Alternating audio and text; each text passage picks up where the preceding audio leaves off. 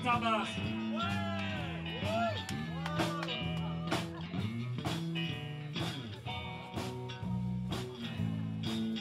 moi la batterie. Batteur de l'échappe est connu.